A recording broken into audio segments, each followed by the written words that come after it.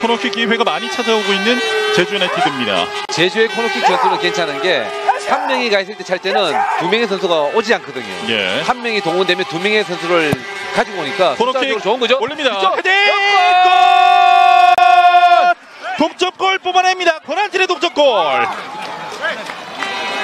자 순식간에 동점을 만들어내고 있는 제주 유나이티드입니다. 그래서 방금 좀 전에 얘기했듯이 숫자적으로 오해를 가져갈 수 있는 전략을 선택했던 제주가 네. 좋은 어, 전술을 가져왔었고 맨투맨을 할 때 제일 위험한 게 있는 거예요. 순간적으로 사람을 놓치게 되면 네. 무방비하게 당하거든요. 그렇죠.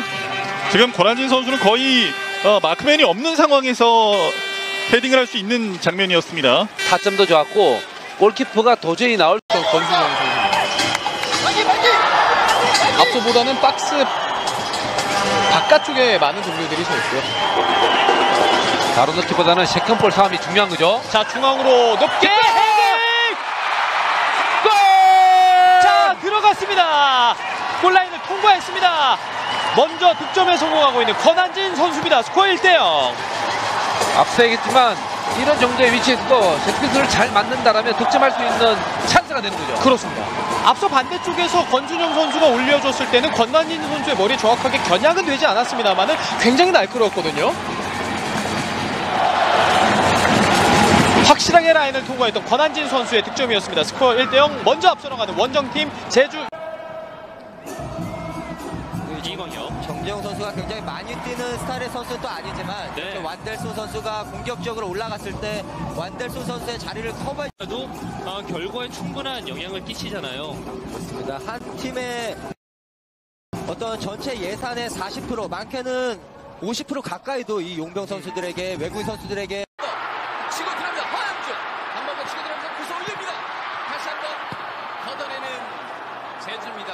확실한 슈팅으로 못했습니다. 자, 부고사가 뭐 욕심 부리지 않고 형제한테 박유성 선수가 지금 일어나지 못하고 있는데 경기는 그대로 진행되고 있습니다. 공격 숫자 많아요. 자, 뒷공간 쪽으로 밀어주면서 수비가 한 발 빠르게 권한진이 끊어냅니다. 들어옵니다. 오, 좋네. 그리고 네.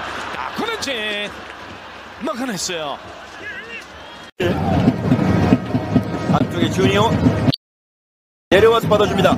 빠져 들어갑니다. 오른쪽 측면으로 연결 이동경 이동경 먼저 권한진이 커쳐냈습니다. 지금은 잡아줍니다. 앞쪽 빠르게 리차드가 길목을 차단하고 있습니다. 그리고 김인성 김인성. 김인성 권한진의 커버가 한 발 빨랐습니다. 아, 본인의 스피드를 너무 믿었네요. 빙글 돌아서 김도형 접어놨고 오른쪽 넘겨줍니다. 헤더 먼저 공을 처리해내는 권한진입니다. 적으로 나가는 모습. 지금도 정승용 선수가 공격으로 나가 나가서 지금 패스 연결하는 모습 보이고 있거든요. 살짝 올렸습니다. 헤딩 골마크에 흘러나온 볼. 박스 안쪽 왼발 슈팅 굴절됐습니다. 뒤쪽에 이상호 발이 대안 걸리지 않습니다. 자 제대로 거들지 못했고요. 오스마르 올라옵니다. step over 가운데 밀어줬습니다. 에반드로 돌파 에반 드로 에반드로 걸렸습니다. 권한진이 끝까지 예, 스리톱 형태로 가면서 공격 쪽에 확실하게 무게를 두겠죠. 예. 바운드 튀면서 키 뒷공간. 넘겼어요. 자, 김신욱. تراقة خطيرة خطيرة خطيرة هذه الكرة عرضية